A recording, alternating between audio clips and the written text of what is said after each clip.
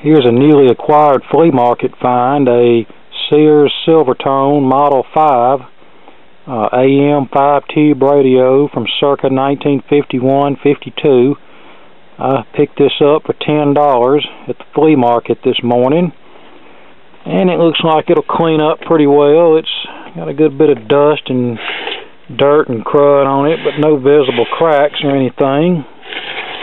Only real problem is the dial pointer is broken, which I already have some ads placed on the various antique radio sites trying to find one. If I can't find one, I'll just have to manufacture something. This is an Arvin built set, which Arvin made a lot of radios for Sears. There's the back of it. Even the back's still in decent shape. And it's obvious that someone spliced a power cord onto the on what's left of the original and when the radio didn't work they pulled the cord off. Or when the radio went up in smoke they pulled the cord off. But without any further delay let's let's pull it apart and see if we can make it play this afternoon. And here's the chassis removed from the cabinet as I eyeball this, I see that one tube is missing. The chassis is extremely filthy dirty. There's a broken wire that goes to the loop antenna. The speaker voice coil is dragging. Can't tell can't tell that any many repairs were made under the chassis. Looks pretty much original. And this set uses the style of IF transformer that's bad about having the silver migration disease. Hopefully that won't be the case with these, but if it is, we'll have no choice but to deal with it. Okay, all I know to do at this point is get started on it. Okay, I've now removed a good bit of the crud that was on the chassis. Yeah, that looks a lot better now, doesn't it? And looking under the chassis a little closer, we can tell that this capacitor is blown up. This looks like the capacitor that's wired across the AC power line. And it was very common for these to blow up. So, And technically you want to replace them with a modern AC rated safety cap. Although if all you have available is a standard film cap, that'll still be superior to these old paper capacitors that were originally used in this application. Okay, for the exception of the blown apart across the line capacitor here, I have all the rest of them replaced, as you can see here.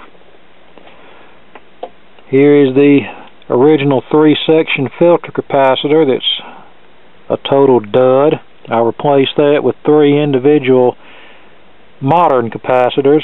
The original capacitor was was a uh, 40 microfarad, 20 microfarad, and 20 microfarad at 150 volts. I went with a 47 microfarad and two 33 microfarads to replace the original 20 microfarad. That that won't hurt a thing. And the reason I haven't replaced this capacitor yet is because one end of it ties to the 35W4 rectifier tube, the uh, AC power cord, as well as a surge resistor that's out of tolerance. It's connected to that pin, so I want to go ahead and replace everything while I have that unsoldered. That surge resistor is supposed to be 15 ohms. It's up to 39 ohms, which is more than twice what it should be. So that will have to be replaced. But yeah it's it's coming along nicely. And by the way this little device here with several leads coming out of it that's known as a couplate. And it's a it's the forerunner of the modern integrated circuit. What this device is it's in the audio circuit. Its purpose is to couple the first audio stage to the output tube and there are several resistors and capacitors inside of this little device. They don't fail that often but I've seen it happen once or twice in the 20-something years I've been doing this. But fortunately, they generally give the values of the parts inside of these little devices on in the schematic. So if these do fail, you can generally build one without too much trouble, given the values posted on the schematic. Okay, now we'll replace this surge resistor, the AC power cord, and this blown apart capacitor here. And here's something here I don't really like the way they did this. You notice they have the power cord sort of crimped to the chassis here. That was done from the factory to offer a little bit better strain relief than just tying a knot in the power cord. Well, that's all fine and good, but if this insulation were to become brittle or cracked or frayed or any other condition that would cause the copper wire to be exposed, well, you get the idea. You've got a dead short to the chassis, which is something we don't want. So when I replace this power cord with a new one, I may still use this feature here, but I will put a couple of layers of heat shrink tubing over the, the uh, new power cord to prevent any possibility of insulation damage which could lead to a short circuit. And you can see they did the same thing to the other side of the power cord.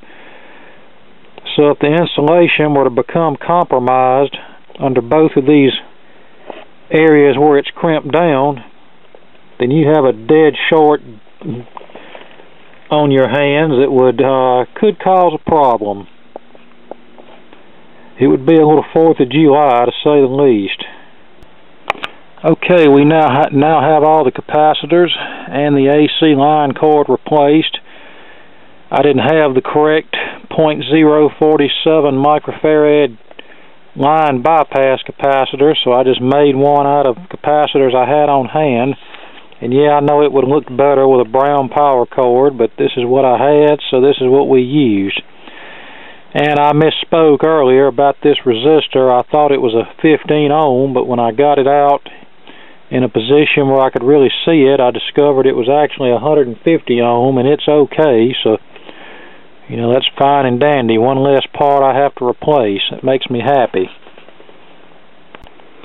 Okay, I have it powered up and turned on. Obviously, I don't have the loop antenna connected yet, but I just wanted to see where we are at this point. and only have about 70 volts AC input and what I'm hearing is not a good sign at all.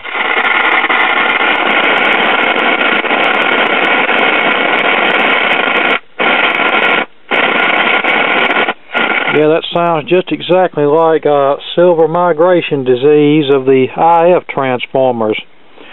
So if that's the case, that means we're going to have to uh, take these IF transformers out and rip out the uh, built-in mica capacitor and solder a couple of outboard silver mica capacitors to the transformer.